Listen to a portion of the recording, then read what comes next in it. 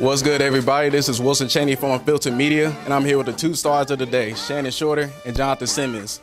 You guys avenged the game one loss, and you instantly pounced on the Houston Flights in the beginning. What were some of the adjustments you guys changed from last game going into now? Uh, just wanted to play defense from the jump, uh, pressure pots, make them make decisions, and just you know do what we do on offense, find a mismatch and uh, attack it. I think we went small on today, so they couldn't, you know, pound us inside.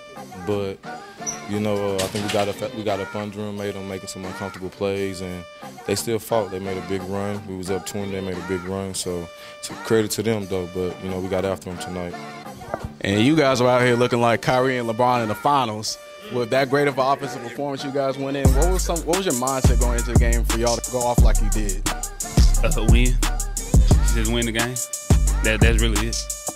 Yeah, we we uh that was a tough loss for us at the buzzer like that. We didn't sleep well that night, so we wanted to come out and show a good showing for the fans and for Houston. And for Shannon, it's also important to know that you have a back to school drive today at Alief High School. How does it feel to be able to give back and contribute the way you are to the city that you you grew up in? That was uh what's that Sunday? That was on a Friday actually.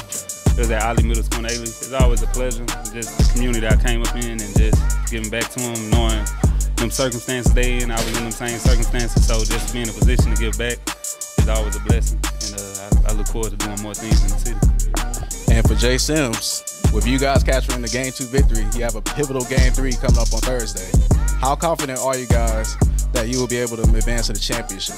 Uh, we're, we're, super confident. You know, going into the game, we, we know what we have to do. We know our mindset, so can't wait till Thursday.